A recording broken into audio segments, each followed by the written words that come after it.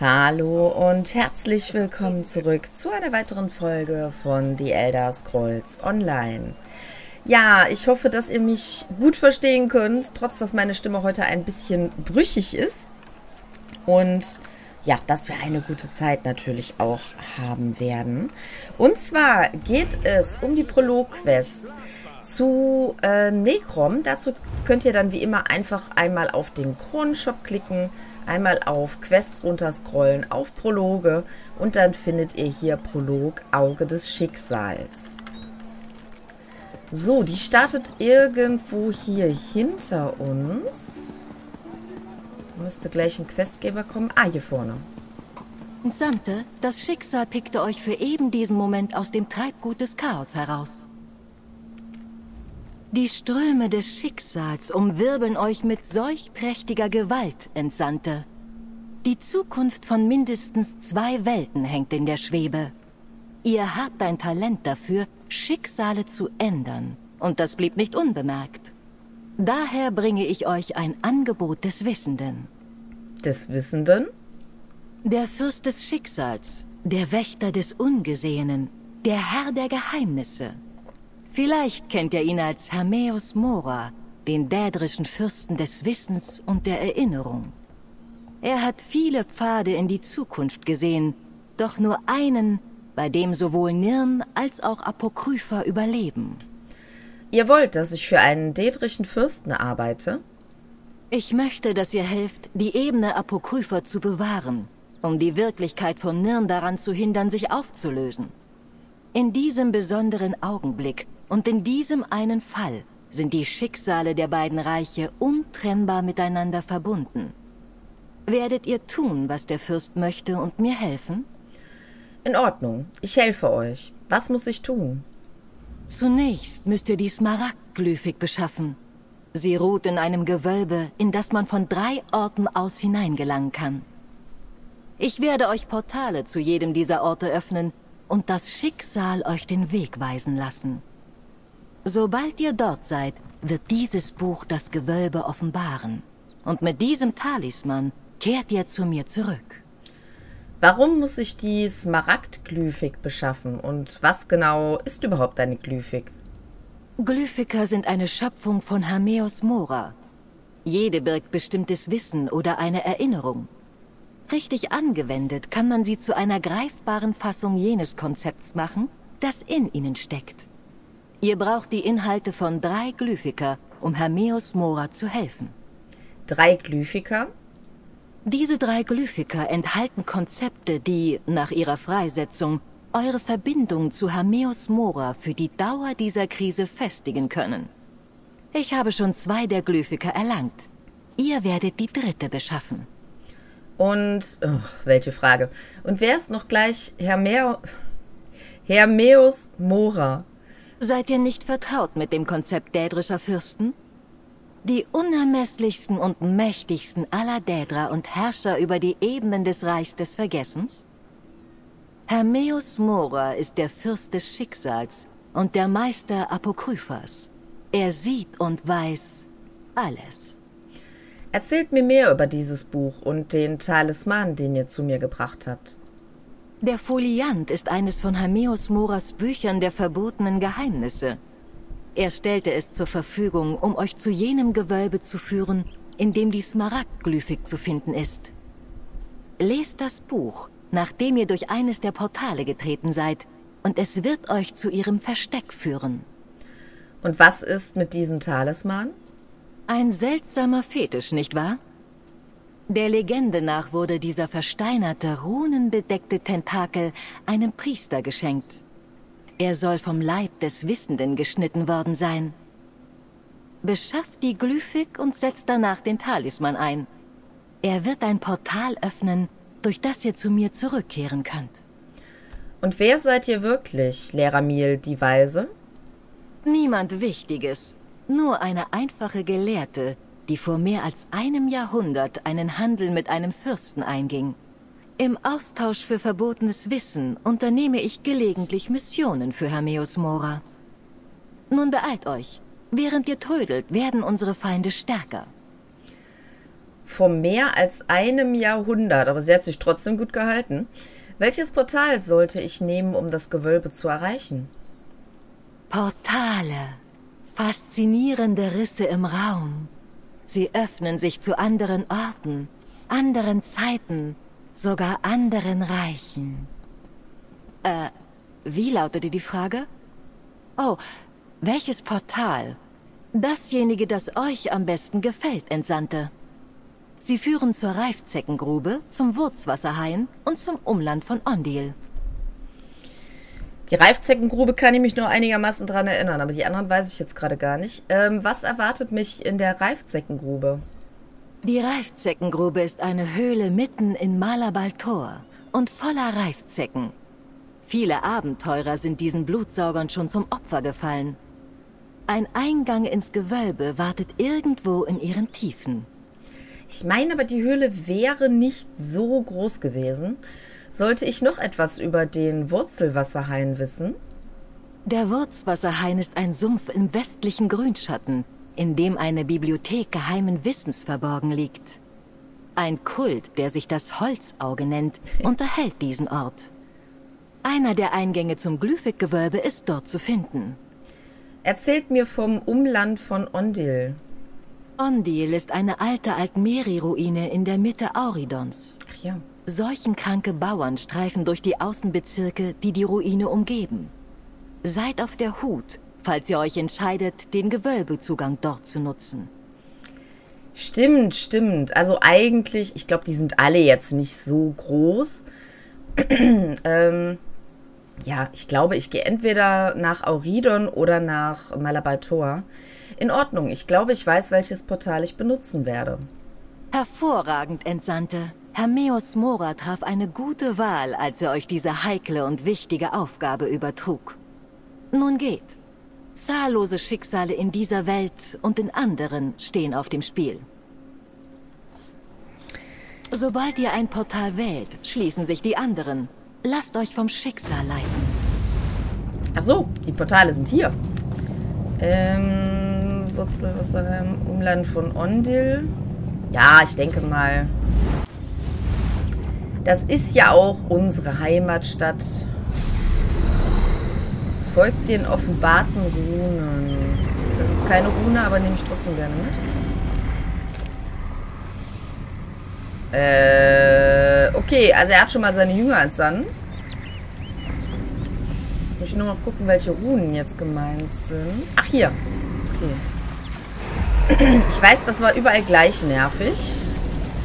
Das ist schon mal eine Rune. Da ist noch eine weitere. Rechts ist auch noch eine. So, hier. Hier ist noch eine. Da. Das nehmen wir nochmal schnell mit hier. Macht ihr da etwas Magisches? Nee, eigentlich nicht, Funke. Ähm, ich habe zwar im Original nicht gemacht, aber ich glaube, es ist besser, wenn ich die umbringe, damit ich hier in Ruhe wegen den Runen gucken kann. Und die andere ist... Ach, die hängt da hinten dran, oder? Ja, genau, die hängt hier dran. Das heißt, es geht jetzt hier hoch. Okay, es geht nicht ins Verlies, was ich erst gedacht hatte.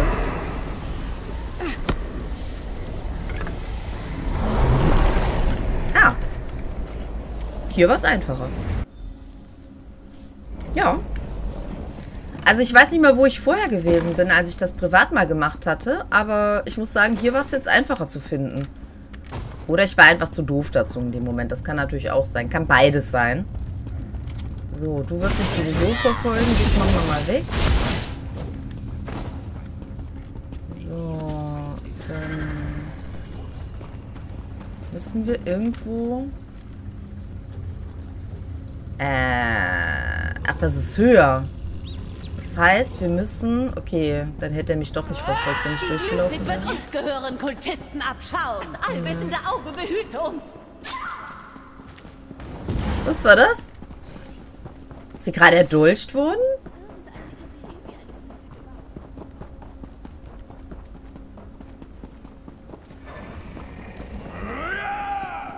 Okay, ich bin leicht verwirrt. Ich glaube, sie ist jetzt gerade erdolcht worden. Ich bin mir nicht sicher.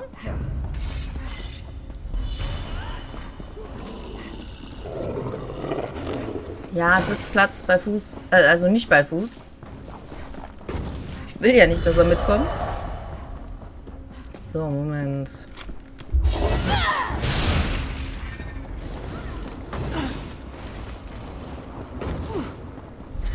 Ja, ja, ja. Wie viele Fallen haben die denn noch?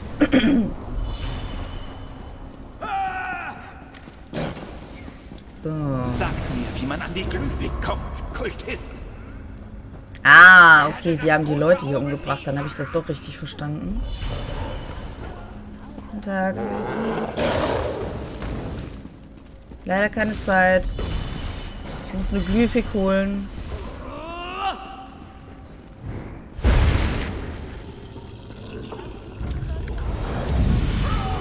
Unterschätzt uns nicht. Genau. Funke kümmert sich um die Vampire und ich schaue mal nach der Glyphik. Wer bist du denn hier? Ah, Schicksalserwählte. Gut, ich dachte schon, ich müsste noch einen Angriff auf die Glyphik abwehren. Ja, ich denke.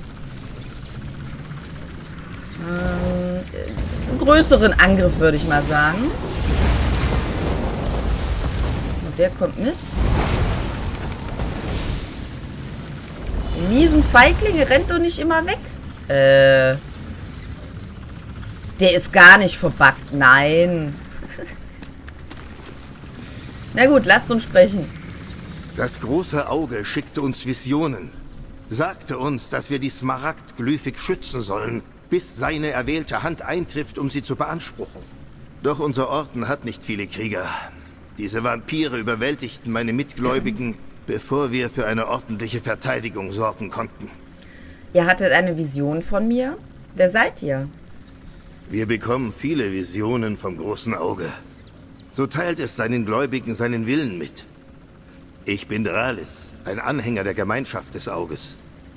Uns wurde aufgetragen, die Glyphik zu schützen, bis ihr kommt, um Anspruch auf sie zu erheben.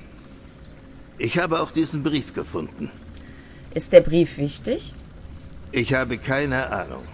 Ich nahm ihn einem der Vampire ab, doch er wurde in einer Art Geheimschrift verfasst. Ihr arbeitet mit Leramil der Weißen zusammen, nicht wahr?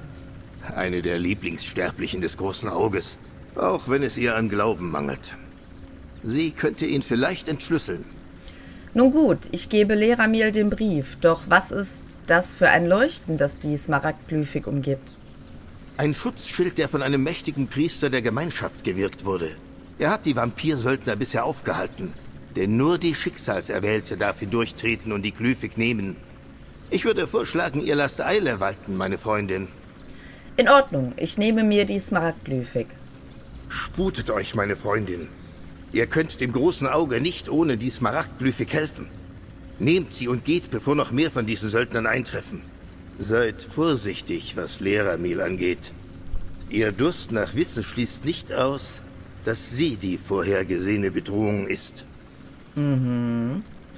Wie kommt ihr darauf, dass Leramil Teil der vorhergesehenen Bedrohung sein könnte? Es ist ein Verdacht, mehr nicht. Die Gemeinschaft des Auges hat vor kurzem erfahren, dass manche, die behaupten, nur das Beste für das große Auge zu wollen, in Wahrheit daran arbeiten, Apokrypha zu untergraben. Gehört Leramil zu ihnen? Ich kann es nicht beweisen. Noch nicht. Warum versuchen diese Vampire, die Smaragdglyphik zu erlangen? Die Dämmersäbel sind Söldner von der Telvanni-Halbinsel. Jemand hat sie angeworben, um an die Smaragdglyphik heranzukommen und sie in Besitz zu nehmen, bevor die Schicksalserwählte genau das schafft. Ich weiß nicht, für wen sie arbeiten.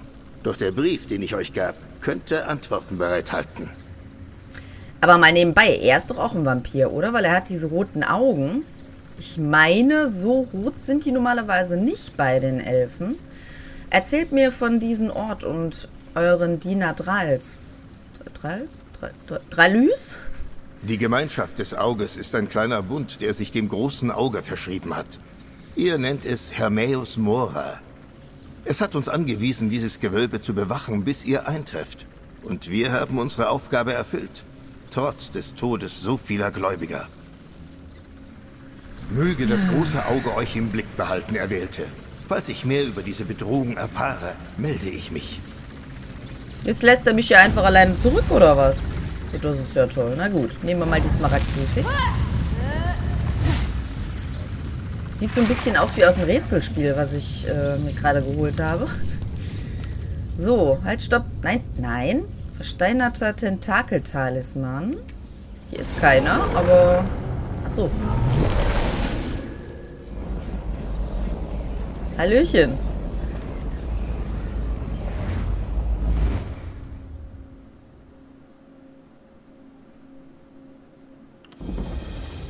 Das waren aber nette Augen.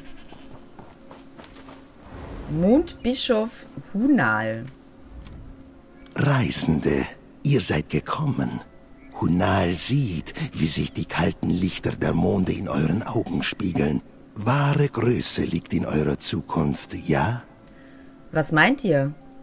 Wahre Größe erwartet euch, aber nicht hier, ja? Ihr müsst zum Tempel von Mondhöhe reisen. Sucht nach einer Person, die am Wegesrand auf euch wartet. Sie wird euch dorthin leiten, wo ihr hin müsst. Nun gut, ich werde nach Mondhöhe gehen. Ja. Ähm. Das war jetzt hoffentlich meine Quest. also, ähm, meine normale... Ich gucke zur Sicherheit mal lieber nach. Moment, Prologe. Nee, das war gar nicht die Quest. Äh? Äh...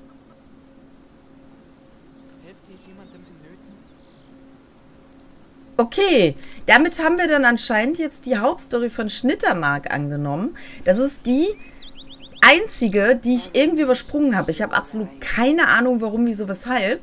Aber wir wollen natürlich weiter mit dem Auge machen.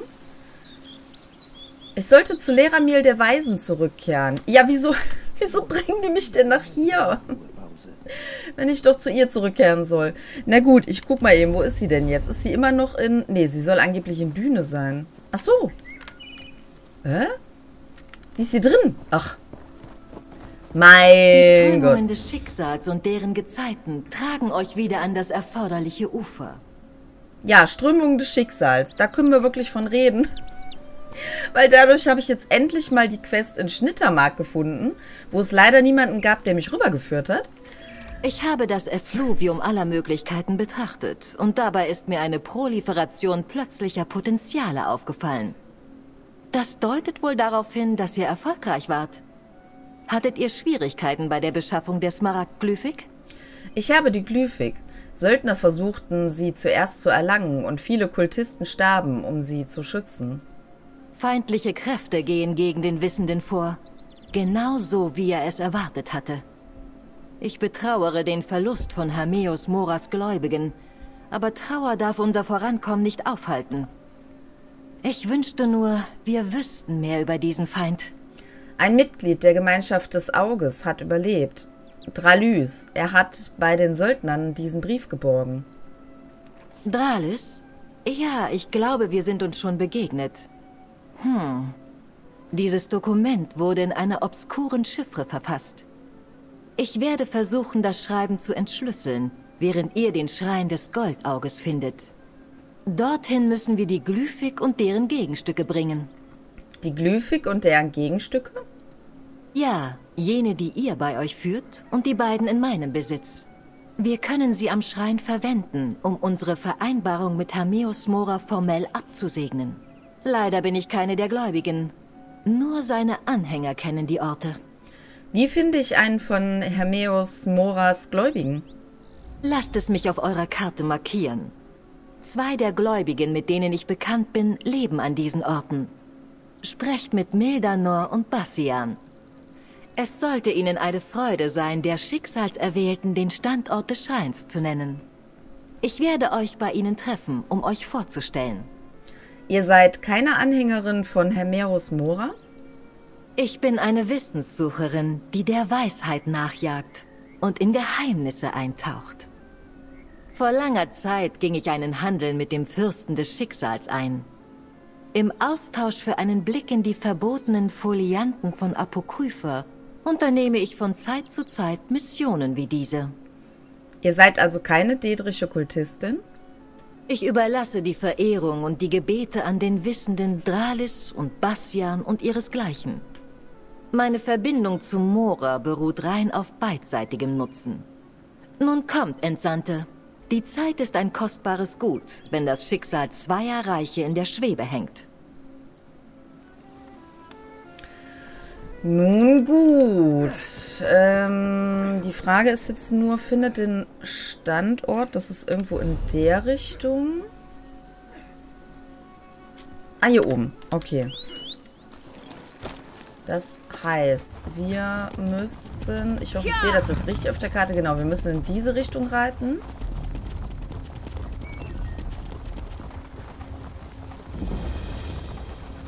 Das Quietschige in meiner Stimme aktuell tut mir übrigens sehr leid, aber ich bin immer noch sehr stark erkältet und ich krieg's einfach nicht weg momentan.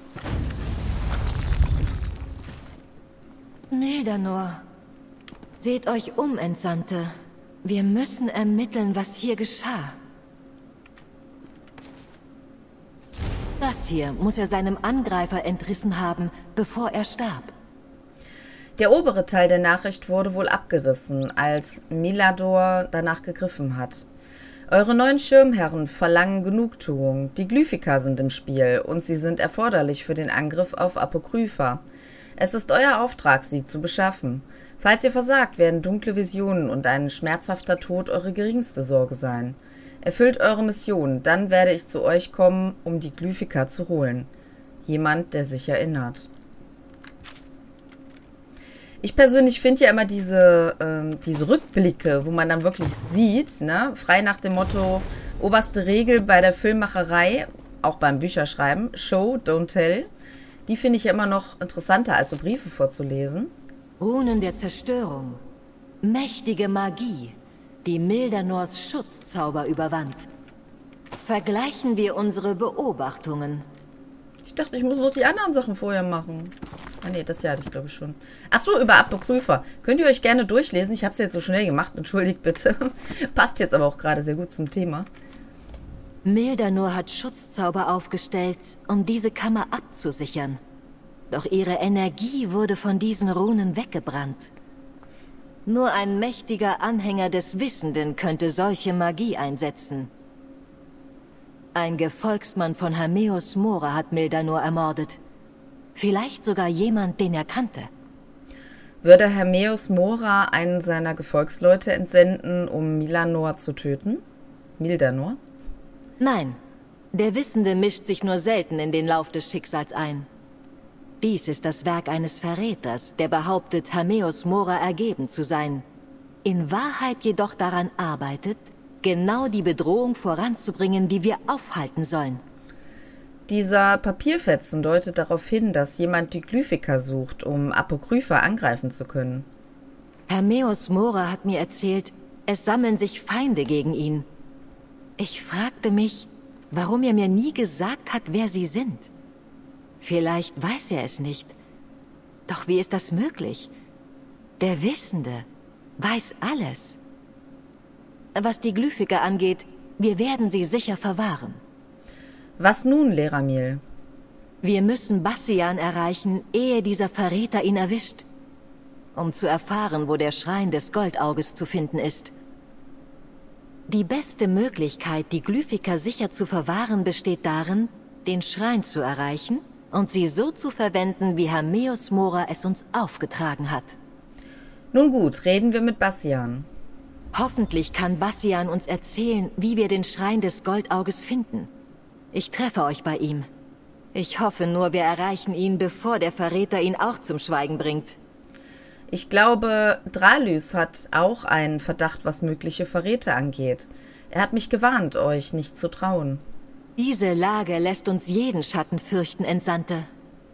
Wenn auch Dralis jemanden für einen Verräter hält, sind wir auf derselben Fährte. Er hat nur den Fehler gemacht, anzunehmen, ich sei es, die diesen Verrat übt. Ich will euch helfen und zwei Welten retten. Mehr nicht. Tja, ist dem so oder ist dem nicht so? Das werden wir noch erfahren.